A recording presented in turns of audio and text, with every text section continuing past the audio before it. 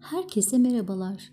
Sizlere soslu tavuk göğsünü mısır unu ile kızartacağım harika bir tarif paylaşacağım. Kemiksiz göğüs etini 4-5 cm kalınlığında şeritler halinde keselim. Dilimlediğimiz göğüsleri bir kaseye alalım ve üzerine 4 diş sarımsak rendeleyelim. 1 tatlı kaşığı kekik, 1 tatlı kaşığı kırmızı toz biber, 1 yemek kaşığı sirke, 2 yemek kaşığı zeytinyağı ilave edelim. İyice karıştırdıktan sonra streç filmle üzerini kapatıp 1 saat kadar buzdolabında dinlendirelim. Dinlenen göğüslerimizin üzerine 3 yemek kaşığı mısır unu ilave edip karıştıralım. Tavadaki yağımız iyice kızınca göğüslerimizi tavaya alalım. Pişirmeye bırakalım. Suyunu çekip kızarıncaya kadar pişirelim. Maşa yardımıyla çevirerek iki tarafını da pişirelim.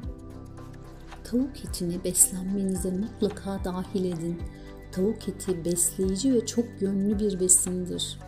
Satın alma sırasında soğuk zincirin kırılmamasına dikkat edin. Alışverişi yaptıktan sonra en kısa sürede buzdolabına koyun.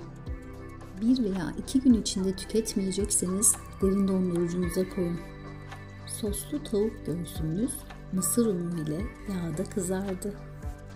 Dışında mısır ununun kızarmış çıtırlığı, içinde sosun verdiği yumuşaklığı ile çok lezzetli görünüyor. Sunumu kendi damak tadınıza göre yapabilirsiniz. Ben tavuklarımın üzerine birkaç dal mis gibi kokan dal kekiği koydum. Evet, şimdi tadına bakma zamanı.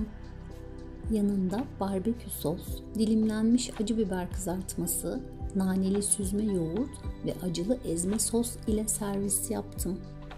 Tavuk eti hafiftir, protein oranı yüksektir ve yağ oranı düşüktür. Pişirme tekniğimiz çok önemli tabii ki. Fırında ve az yağla yapılan her şey daha sağlıklı. Fazla tüketmemek şartıyla bu lezzetleri de kaçırmamak lazım.